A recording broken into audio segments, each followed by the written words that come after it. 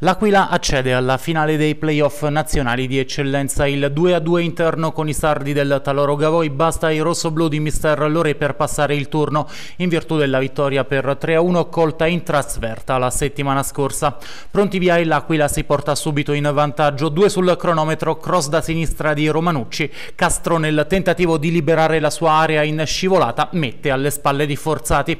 Il Taloro Gavoi si riorganizza e al sedicesimo si fa vedere dalle parti di De Chiri Chirico. Tiro di Falchi, l'estremo difensore dell'Aquila ci mette i guantoni e devia in angolo. L'Aquila risponde al minuto 24, d'Ercole dal limite facile l'intervento di Forzati. Taloro Gavoi pericolosissimo, 120 secondi dopo, punizione tagliata di Castro, De Chirico disinnesca in volo plastico. La frazione va in archivio con una nuova incursione offensiva degli ospiti. Castro da punizione verticalizza per Falchi che però da buona posizione non trova lo specchio della porta.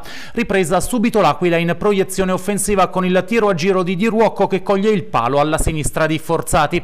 È il preludio al raddoppio aquilano che arriva al minuto 9. Cross da destra e incornata di Brunetti che non dà scampo al portiere del Taloro Gavoi. Ospiti che non si abbattono e al ventinovesimo dimezzano lo svantaggio. Pallone a campanile spizzata a centro area di Mele che libera la corrente Falchi, il quale di collo piede batte De Chirico. Cinque giri di lancette il Taloro Gavoi rimette in equilibrio la partita. Sugli sviluppi di un angolo angolo battuto da sinistra, colpo di testa vincente di Secchi che vale il 2 a 2. L'Aquila al 36esimo ha la chance per riportarsi avanti ma Shiba da posizione centrale cestina l'occasione.